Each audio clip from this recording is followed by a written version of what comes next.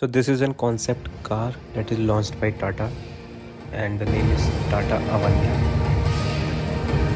So finally Tata ने Harrier का नया मॉडल लॉन्च कर दिया है डेट इज़ Harrier EV और यहाँ पे आप देख सकते हैं कि इसकी लाइटिंग कितनी प्यारी लग रही है। सामने से अगर आप देखेंगे तो इसमें 360 व्यू कैमरा भी दिया गया है और एडेस आ चुका है, जैसा कि आप देख सकते हैं हैरियर ईवी की बैजिंग के नीचे। और साइड प्रोफ़ाइल इसकी बहुत ही प्यारी हो गई है और पीछे से भी अगर आप देखेंगे this is the all new Harrier EV जो अभी आप देख सकते हो कि इसकी लाइटनिंग बहुत अलग हो चुकी है। पूरी कनेक्ट कर रही है। सेम आपको पीछे की साइड से भी दिख जाएगा। और इसके में चेंज जो है, इसके अलॉइज में।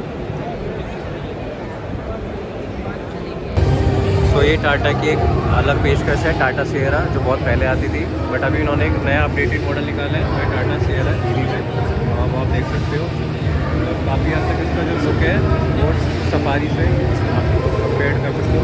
बट लुक काफ़ी प्यारा है, बहुत अच्छा है मॉडल है।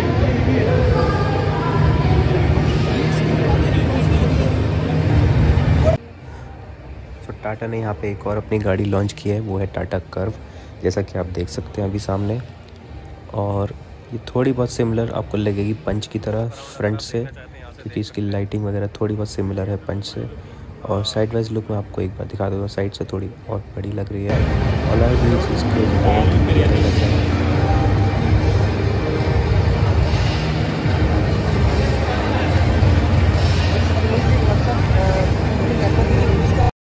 टाटा ने एल्ट्रोस का एक अपडेटेड वर्जन निकाल दिया है डेट इज़ टाटा रेसर जो अभी आपके सामने है। और ये बहुत ही प्रीमियम और बहुत ही प्यारी लग रही है। डुअल टोन में है, जैसा कि आप देख सकते हैं, रेड एंड ब्लैक में। और इस पर एक वाइट स्ट्रिप्स का डिज़ाइन भी देख सकते हैं, बहुत ही प्यारा लग रहा है। और इसमें काफ़ी अपडेटेड फीचर्स भी मिले हैं, बहुत सारी चीज़ें हैं, वो मैं आपको वीडियो में आगे बताऊँगा, आप देखते रहिए।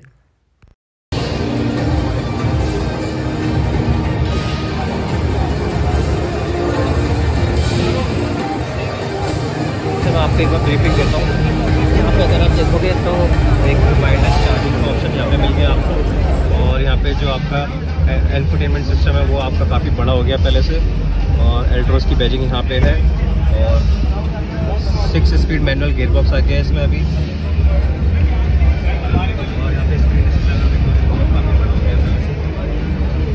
और सबसे बड़ी जो यहाँ पे आपको चेंज देखने को मिलेगा, वो है आपका रूफ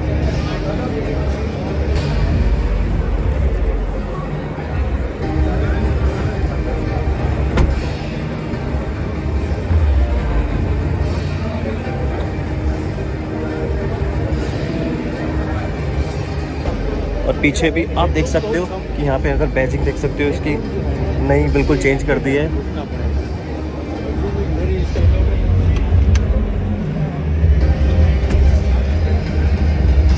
यहाँ पे आपको सी टाइप चार्जर भी मिल जाते हैं 12 वोल्ट का चार्जर ऑलरेडी दिया हुआ था।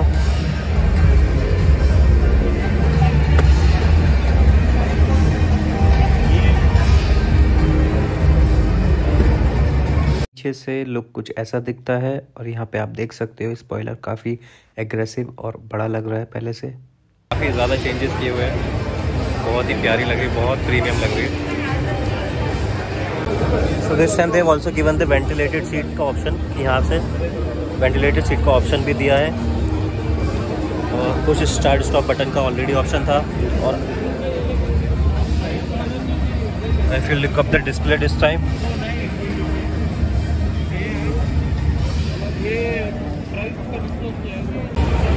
इसका डोर जो है वो पूरा 90 डिग्री पे ही ओपन होता है। जैसे पहले था, वैसे ही। यहाँ पे आप देख सकते हो जो इंजन दिया हुआ है, वो 118 bhp पावर का इंजन है which produces 170 nm of torque और अगर आप देखेंगे तो यहाँ पे स्नॉर्कल भी दिया हुआ है उसके साथ ये टर्बो चार्ज बूस्टर है 1.6 टर्बो चार्ज बूस्टर इंजन है इस बार। इसका परफॉर्मेंस पहले से बहुत ज़्यादा एनहेंस हो चुका है। Camera three sixty camera view इसमें अभी नहीं है। डेट इज़ मिसिंग कि यहाँ पे एक ऑप्शन हो सकता था कि यहाँ पे थ्री सिक्सटी कैमरा लग जाता बट काफ़ी प्रीमियम है पहले से और बहुत प्यारी लग रही है इस डुअल टोन में।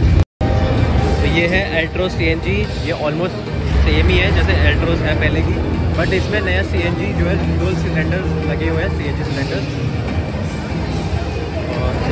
वॉट में आपको दे देता हूँ एल्ट्रो सी में अगर आप चेक करेंगे तो पेट्रोल की कैपेसिटी जो आ जाती है वो थर्टी सेवन लीटर्स आ जाती है फ्यूल टैंक कैपेसिटी सीएनजी में आपकी आ जाती है सिक्सटी लीटर्स कैपेसिटी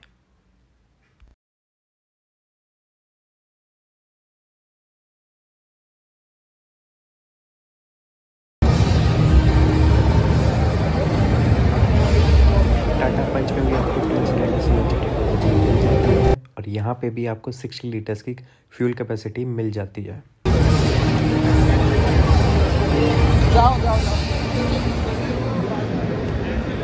ये हमारी टाटा टियागो ईवी टायर नहीं है। नीचे होगा। नहीं नहीं। नहीं नहीं। फास्ट चार्जिंग है इसमें एक घंटे में चार्ज हो जाती है।